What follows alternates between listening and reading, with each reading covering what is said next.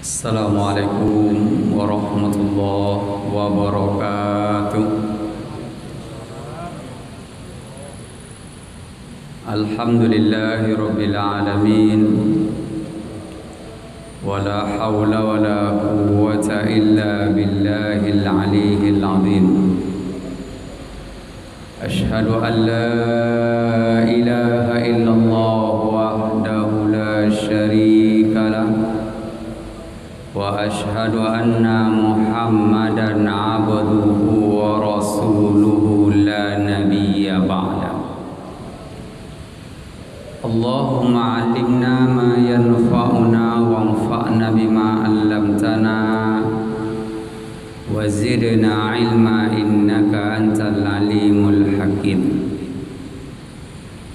Bapak, ibu-ibu, jamaah zuhur rahimahullah Kembali kita bersyukur kepada Allah Subhanahu wa taala. Alhamdulillah pada siang hari ini kita bisa melaksanakan salat zuhur berjamaah.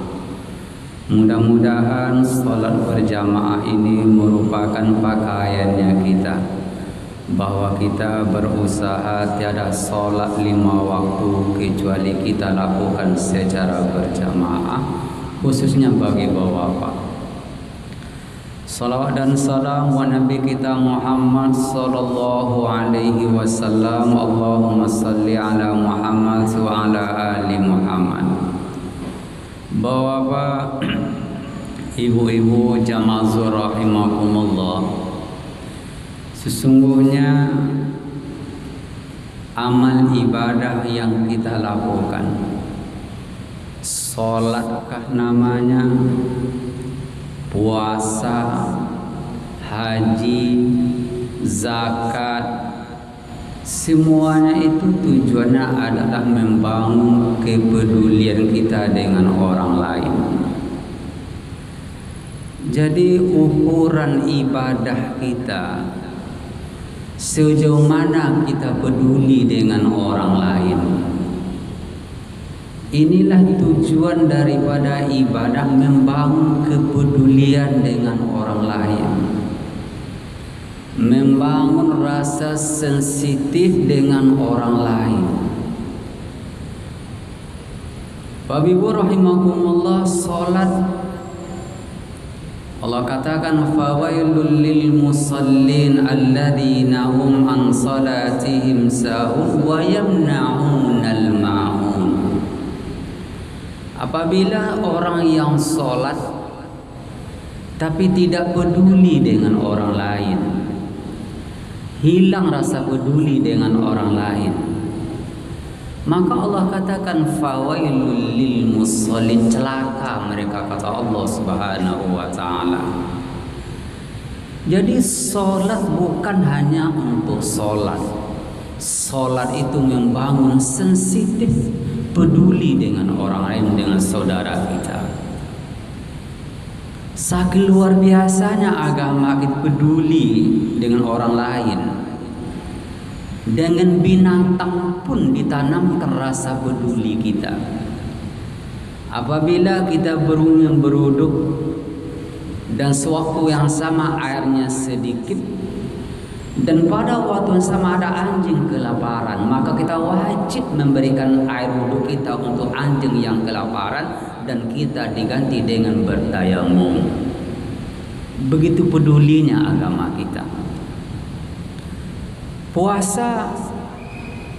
Puasa kenapa Allah wajibkan syariatkan kepada kita berpuasa? Tujuannya adalah membangun kepedulian dengan orang lain.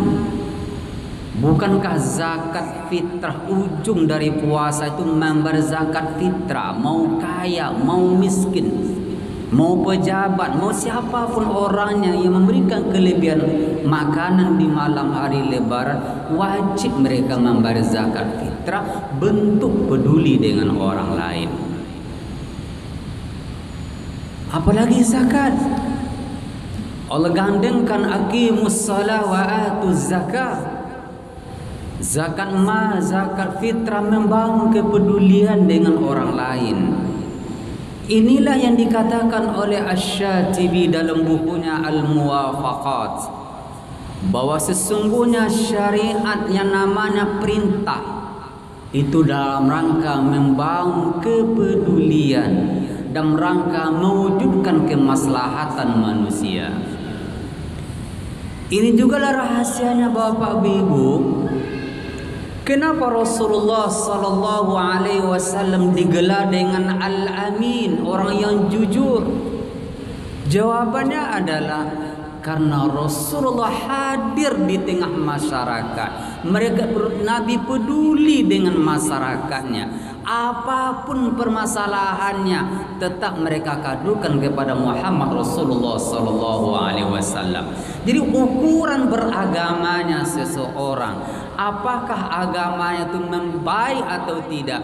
Jawabannya adalah sejauh mana orang itu peduli dengan orang lain. Maka inilah yang Allah katakan dalam Al-Qur'anul Karim. Wa man ahsanu qawlan mimman da'a ila Allah wa 'amila salihan wa qala innani minal muslimin. Siapakah bahwa mereka mengatakan waqala innani minal muslimin saya ini bahagian daripada umat Islam. Jadi Bapak Ibu kalau ada orang rajin sholat Alhamdulillah Rajin puasa Tapi tidak dikenal di tempat tinggalnya Aneh di tempat tinggalnya Maka dipertanyakan agama apa yang dia belajar diamalkan Semestinya orang yang rajin sholat ramah dengan masyarakatnya. Orang rajin puasa ramah dengan masyarakatnya. Kalau orang bertanya di mana orang tahu rumah itulah rumah orang-orang baik orang tersebut. Ini dicontohkan oleh para sahabat dan para ulama. Salah seorang ulama Abdullah ibnu Al Mubarak, ulama besar dia bertangga dengan tetangga dengan orang Yahudi.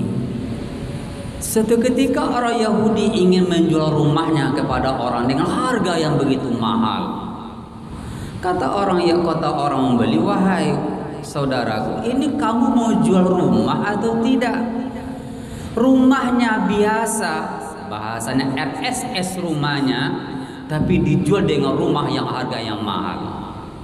Apa jawaban Yahudi tersebut? Wahai wahai saudaraku, rumah saya biasa, tapi saya punya tetangga orang yang sangat peduli adalah Abdullah ibnu Al Mubarak. Saya jual bukan rumahnya yang mahal, tapi kamu bertetangga dengan orang yang paling banyak luar biasa. Jadi Bapak Ibu inilah ukuran agama kita.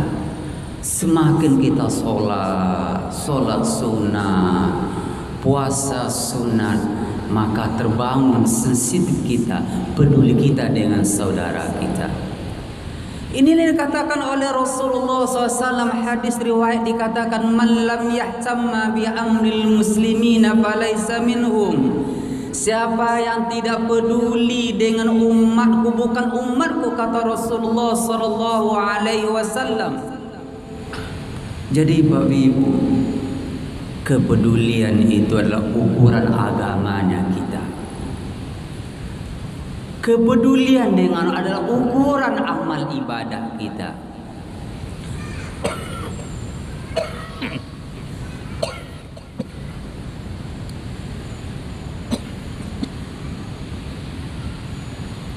Bapak Ibu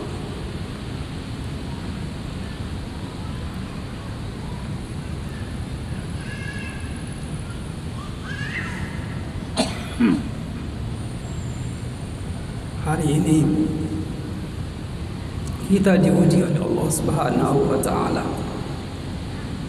Kita diuji. Kita diuji bahwa hari ini saudara kita yang berada di Palestina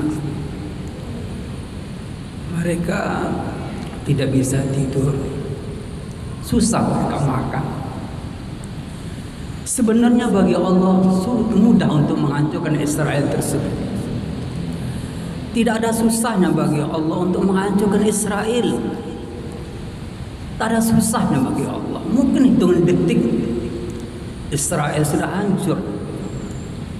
Tetapi kenapa begitu lama mereka eksis? Jawabannya adalah ayyukum ahsanu amala.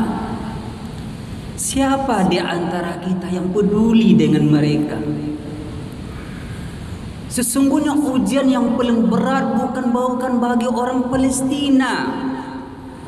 Karena bagi orang Palestina insya Allah mati syahid mereka. Tapi ujian yang paling berat adalah apakah kita peduli dengan mereka? Atau kita menganggap itu bukan masalah kita? Apa hubungannya dengan saya untuk apa saya doakan mereka? Ini adalah makanya ujian yang paling berat bukan bagi masyarakat Palestina. Tapi ujian yang berat adalah kita yang jauh dari mereka. Apakah kita peduli dengan mereka?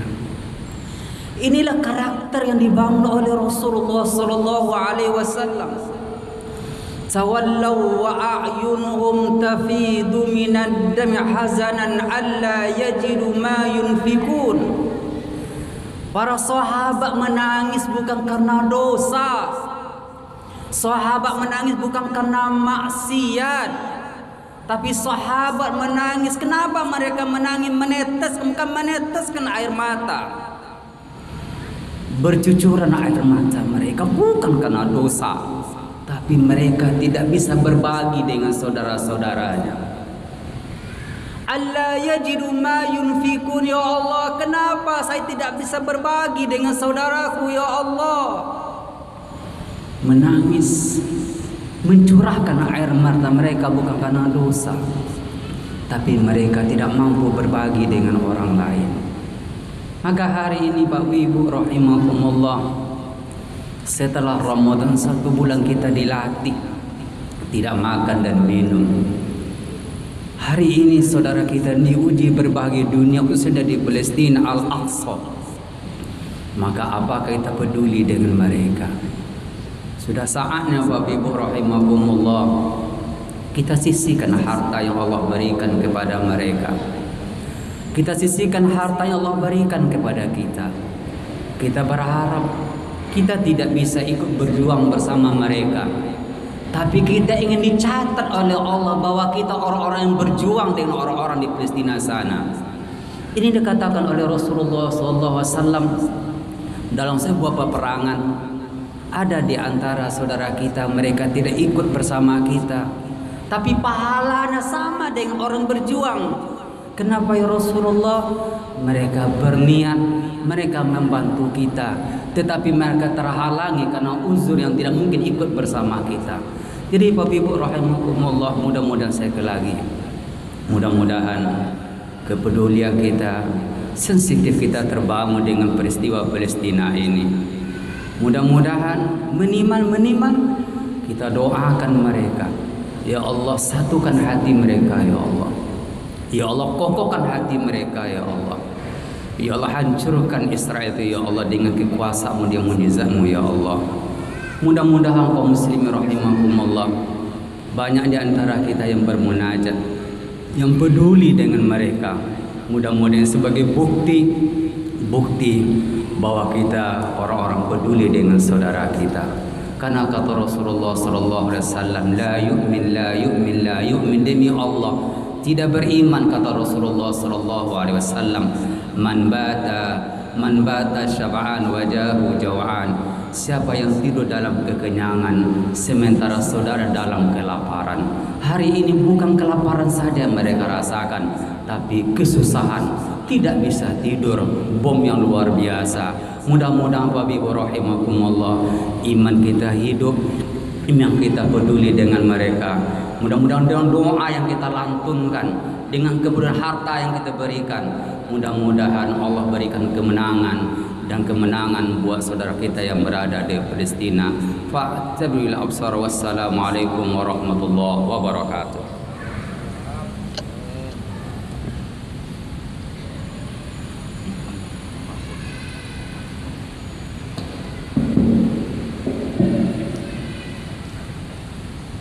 Allah